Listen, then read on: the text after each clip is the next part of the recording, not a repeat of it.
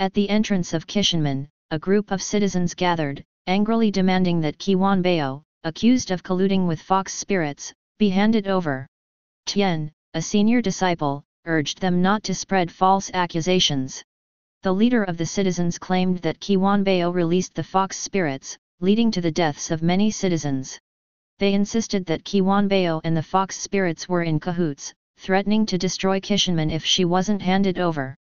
Gillian and the eldest senior brother intervened, asking the citizens about their grievances. The citizens explained that they sought justice for their deceased loved ones. Kiwan reassured them that she had not colluded with the fox spirits. Some argued that if the fox spirit took hearts from Qi Wanbao, more people would die. They demanded her surrender for the safety of the community. Huo's Huya stepped forward, stating that the fox spirit would no longer take hearts once Qi Wanbao married him the next day. The citizens whispered among themselves. Qi Wanbao arrived and questioned her father about the truth of the claim that marrying Huo's Huya would protect her from the fox spirit taking hearts. Gillian affirmed the legend, stating that once married, the fox spirit couldn't complete its ritual, preventing heart taking. Qi Wanbao pondered, and Huo's Huya reassured her not to feel pressured.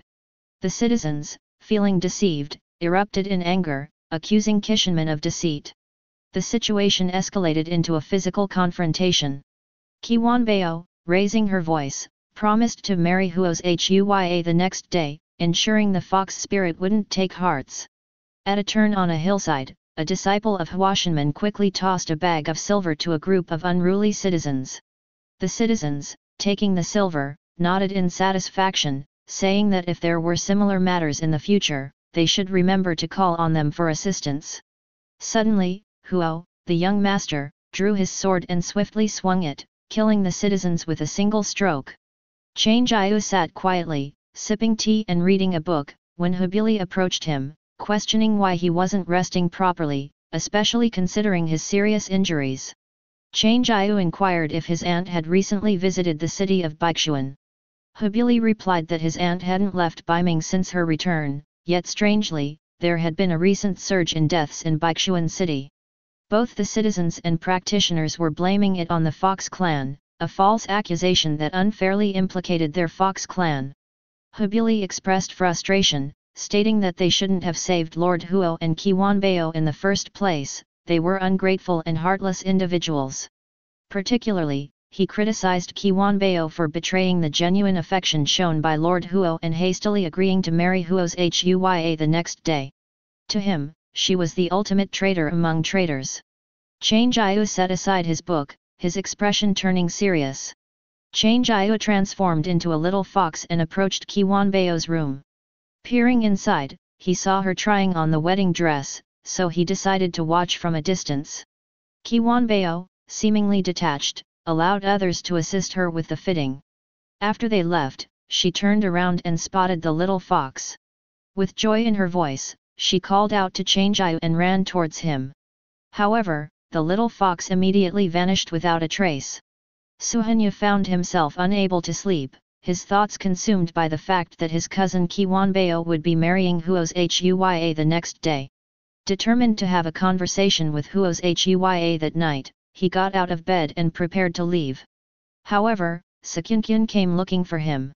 When he asked her why she was there, she explained that she was concerned about Qi Wanbao, fearing that someone might shed tears tonight.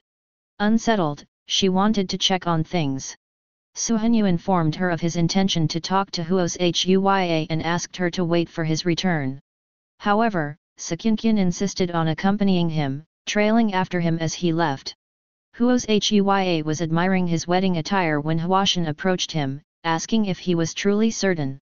Huo's Huya inquired about the meaning of his father's words. Huashan explained that he knew Qi Wanbao didn't like him, so why force it? After all, forcibly obtained fruit is never sweet. He admitted that he no longer cared whether Qi Wanbao's feelings were genuine. Just then, Suhanyu and Sakinkin arrived at the door. As they were about to knock, they overheard Huashan mentioning Huashia's lingering resentment. Huashan expressed his hope that after marrying Qi Wanbao, Huo's Huya would no longer target Chang Jiu. After all, it was Chang Jiu who saved his life in Yueshan. The recent plot against Chang Jiu, in which they all participated, had left him restless. Hearing this, Suhanya was furious and attempted to rush into the room, but Sakinkin stopped him. As Sakinkin led Suhanya away, he slipped and nearly fell, letting out a cry. Huo's Heya quickly followed and intercepted them. Suhanya vehemently declared that he would never allow his cousin to marry such a scoundrel. In response, Huo's Heya used force to bind them and locked them in a storage room, posting guards outside. As the wedding preparations were underway, Su Shenshan searched for her sister. Just then, senior brother Tian happened to pass by. She asked him if he had seen Suhanya and Sakinkin. Brother Tian explained that Su young master disapproved of his cousin's marriage, so he got drunk last night.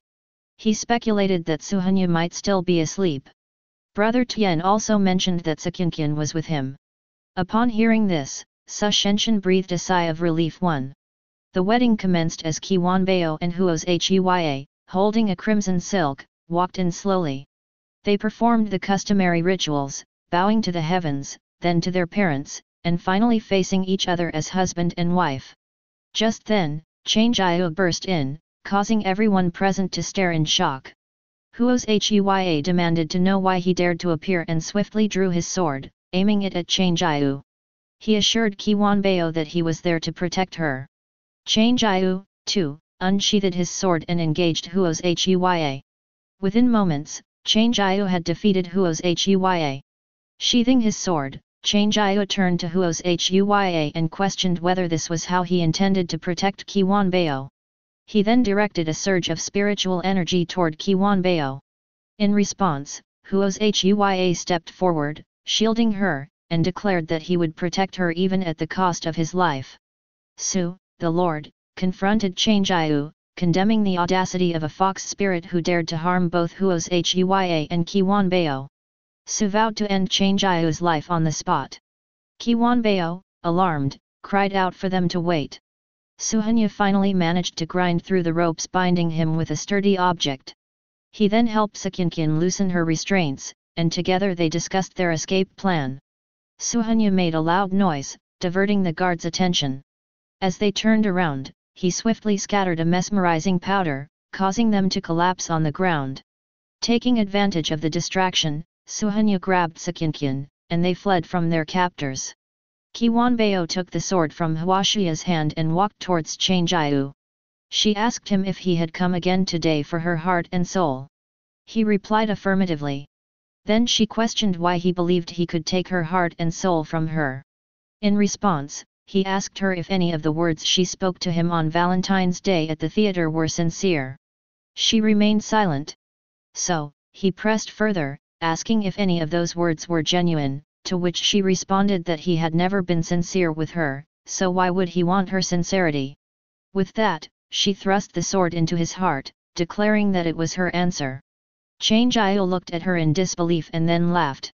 He calmly said that he chose to believe in her nonsensical words even though he knew she had no intention behind them.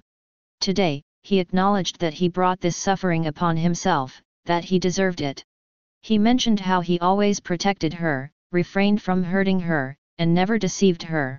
Despite being accused of harming practitioners, he asserted that he only sought to reclaim what rightfully belonged to him. Even if his initial approach was for cultivation purposes, the sincerity he showed for her should not be ignored. He spoke of his innocence in the incidents on Yushan, breaking the sword lodged in him and tossing it onto the character for happiness. Chang Jiu lifted his head and addressed Huashan, pointing out that Lord Huo also accused him of the crimes on Yushan. He then questioned who had saved Lord Huo. Huashan remained silent. Qi Wanbao looked at Huashan's expression, then turned back to Chang Jiu, asking for clarification. She inquired if he hadn't killed anyone, to which Chang Jiu didn't respond. Instead, he turned away and left the scene of the wedding. Hubili sat at the entrance of Kishanman and witnessed Chang Jiu being wounded. Realizing that Qi Wanbao was responsible, he declared that he would kill her today to avenge Lord Huo.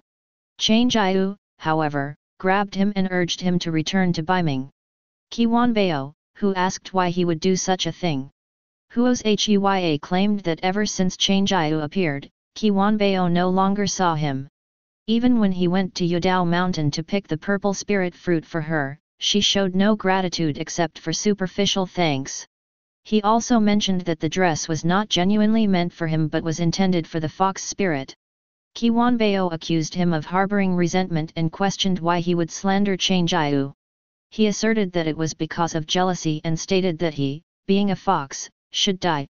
Bao, angered, demanded him to repeat what he said, and when he did, she slapped him. He retorted, mentioning that she had hit him for a fox, reminding her that she was his wife. Bao, considering their childhood bond, spared him this time but declared that they were now unrelated. If he dared to mention wife again, she wouldn't spare him. Bao tossed the headdress from her wedding attire and left the scene. Huo's Heya, angered, mentioned that the sword wound on Chang Jiu was inflicted by her own hands, so she had no one to blame but herself.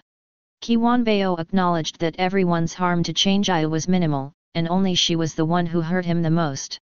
Then she tearfully admitted that she deserved to die for believing those lies and fainted. Huo's Heya returned home, filled with disappointment. In a fit of frustration, he took a sword and swung it, venting his anger on the clothing associated with the failed wedding. Each stroke served as a physical release for the pent-up resentment within him. Gillian and the senior disciple arrived at the now empty wedding venue, bewildered by the transformation of what was meant to be a joyful occasion. The senior disciple remarked on the abrupt change. Gillian, with a solemn expression, instructed the senior disciple to remove all the red decorations and fabrics, signifying the cancellation or disruption of the wedding festivities. Bao kept writing Chang Jiu's name repeatedly, tears streaming down her face as she uttered, Chang Jiu, I'm sorry. A gust of wind swept through, lifting the written papers into the air, causing them to dance around the room. Granny sat beside Chang Jiu and remarked, Never did I expect the future celestial fox of the fox clan to be tossed around like this by a mortal woman. Chang Jiu replied, The past is already dead. I won't make such foolish mistakes again. Granny observed that the woman had a cruel heart to stab him in the wound of his soul-extinguishing sword.